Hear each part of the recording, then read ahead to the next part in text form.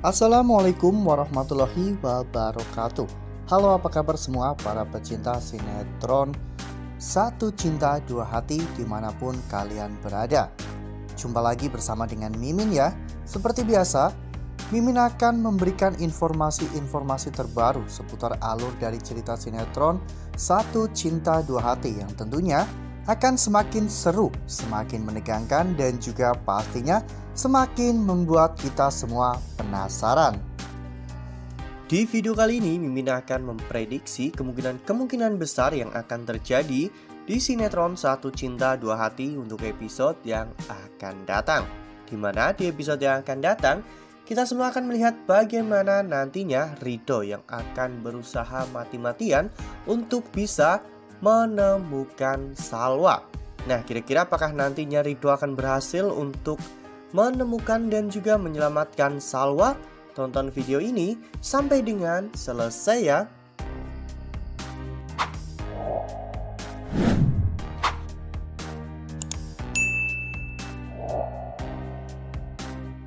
Seperti yang telah kita ketahui bahwa di episode sebelumnya, pada saat Salwa dan juga Rido sedang menuju ke hotel tempat pernikahan mereka. Ya, saat itu Fatan ternyata sudah merencanakan sesuatu yang buruk ya kawan-kawan untuk Salwa dan juga Rido. Di mana pada saat itu Fatan menyuruh anak buahnya untuk menculik Salwa ya kawan-kawan. Dan rencana dari Fatan pun akhirnya berhasil. Saat itu Fatan berhasil untuk mencegat mobil dari Salwa dan tak hanya itu, anak buah Fatan pun berhasil melumpuhkan Salwa dan juga yang lainnya. Bahkan Fahri yang berniat untuk menolong Salwa, Fahri ikut terbawa oleh mobil box tersebut ya kawan-kawan. Mobil box tersebut memang sudah dipersiapkan oleh Fatan untuk membawa Salwa ke Medan ya kawan-kawan. Ya tak hanya sebatas mobil box saja namun, Fatan sungguh sangat kejam ya kawan-kawan mempersiapkan mobil box dengan mesin pendingin ya kawan-kawan. Jadi Salwa dan juga Fahri di dalam mobil box tersebut selain engap dan juga pastinya tidak bisa meminta tolong. Kondisi mereka juga cukup memprihatinkan ya kawan-kawan karena mereka juga kedinginan. Apalagi Salwa hanya menggunakan kebaya tipis sehingga pada saat itu Fahri pun memberikan jasnya untuk dipakai oleh Salwa ya kawan-kawan. Suasana di dalam mobil box tersebut memang cukup mencekam. Ya, tak hanya Salwa dan juga Fahri tidak bisa menghubungi orang luar, namun mereka juga harus berusaha untuk keluar dari mobil tersebut ya kawan-kawan karena jika mereka terlalu lama berada di dalam mobil itu maka kondisi kesehatan mereka pun akan sangat berbahaya karena suhu dan juga cuaca yang sangat dingin di dalam mobil box tersebut.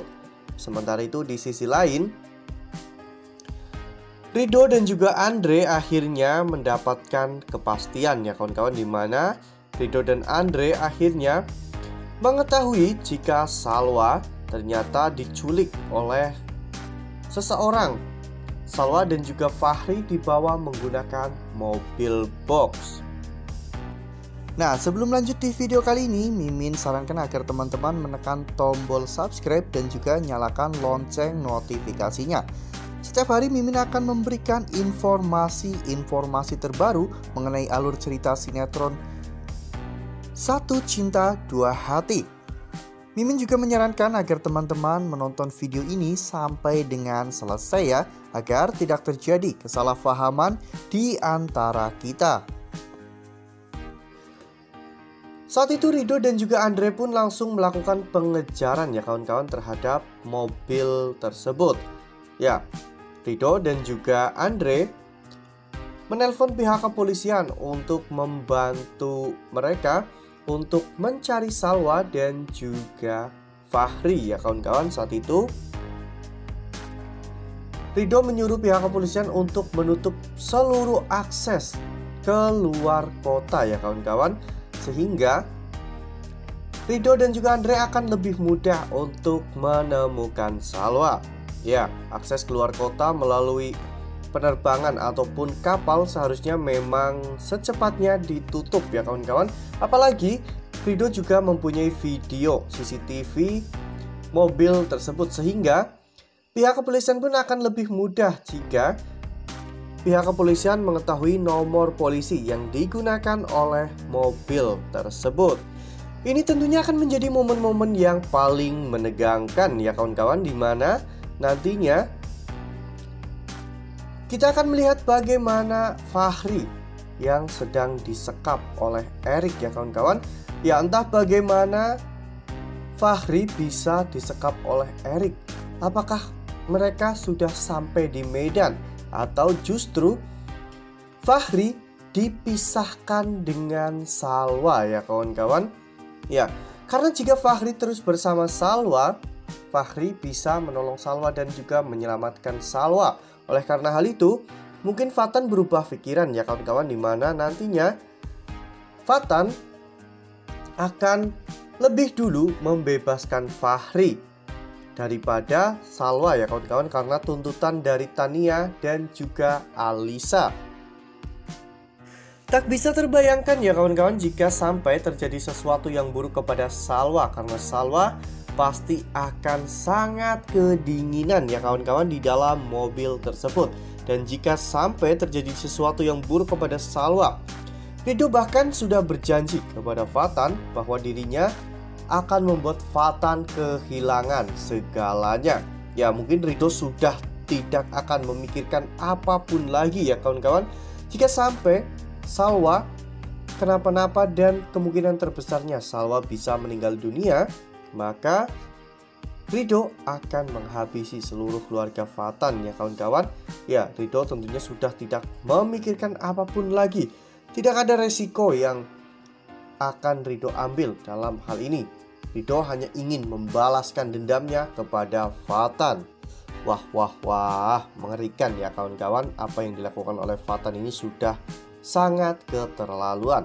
Menculik Salwa dan juga Fahri serta menggagalkan pernikahan Rido dan juga Salwa juga sudah termasuk kejam. Apalagi penculikan tersebut ternyata membuat Salwa jauh lebih menderita karena Salwa harus menahan dinginnya di dalam mobil box tersebut. Ya kawan-kawan.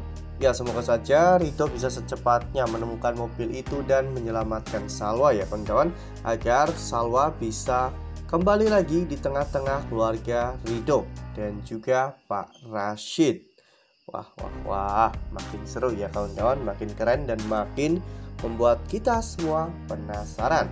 Nah, itu adalah prediksi dari Mimin. Lalu bagaimana dengan prediksi teman-teman semua? Tuliskan pendapat teman-teman semua di dalam kolom komentar ya. Nah, Mimin rasa cukup sampai di sini Mimin memberikan informasi-informasi seputar alur dari cerita sinetron Satu Cinta Dua Hati.